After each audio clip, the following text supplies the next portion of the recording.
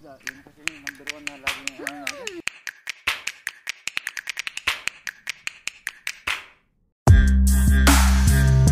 Hi guys, it's Jade again.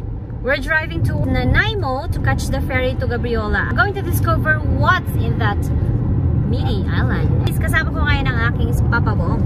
Ay, so 1 hour and 45 minutes drive sa Nanaimo and kukuha kami ng ferry. So we're catching the ferry from Nanaimo Harbor to, Gad to Gabriola Island. We purchased a two-way ticket for two, including the car, $42.55. So that's so cheap. 20 minutes on the ferry towards the island. We're not supposed to get out from the car kasi you know. So this is our ticket. Uh, ayan. Baliktad. See ya.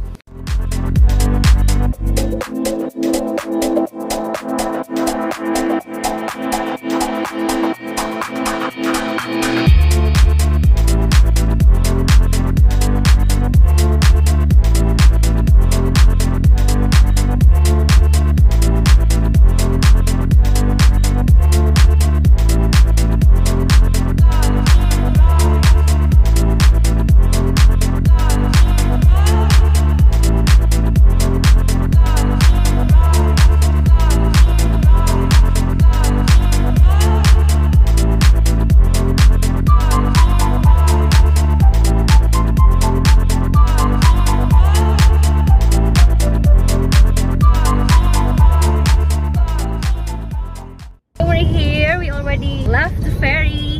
Now we're looking for the Descano Beach.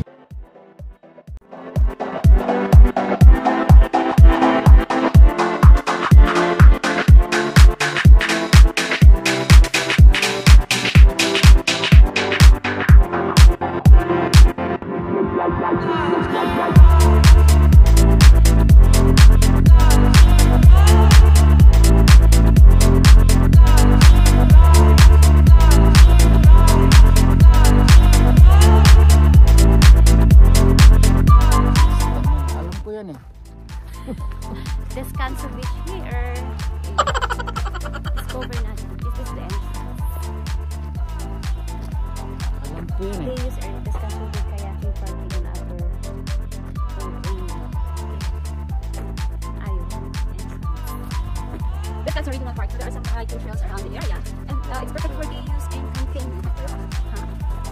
This is the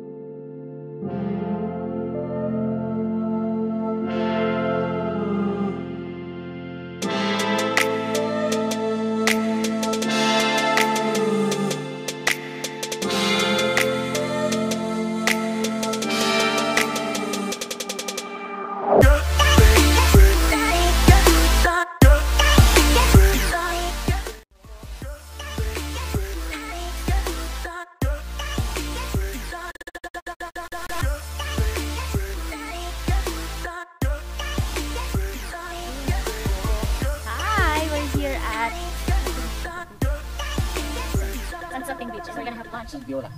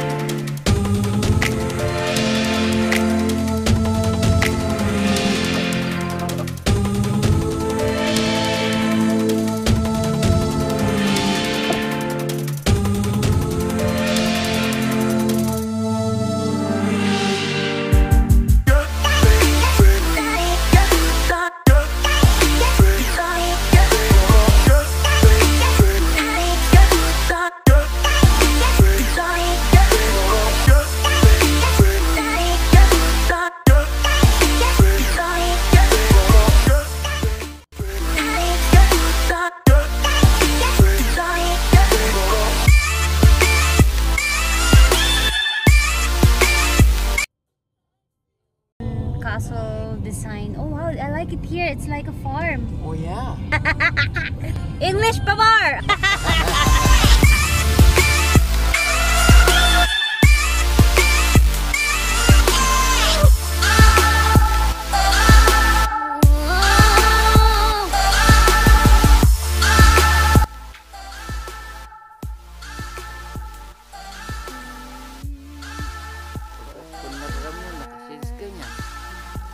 спасибо.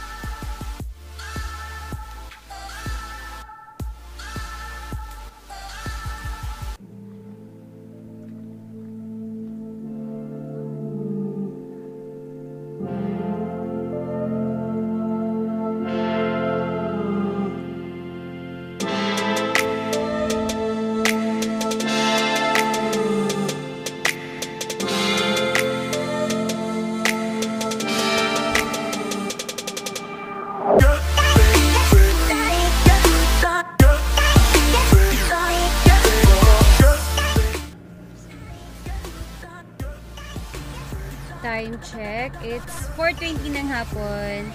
Pauwi na kami from Gabriola Island and we're heading to Nanaimo. We like it here. Parang gusto namin bumalik dito para ano, mag-camping or uh, some water activities, kayaking or paddleboarding. Um, sa bagay naman, anywhere around Victoria area, marami naman ang pwedeng or lakes and dagat na pwedeng pag-paddleboardingan. But here is very quiet. Wala masyadong mga tao sa mga beach areas. Hindi crowded. It's super ano, safe pa rin para sa mga outdoorsy. Char.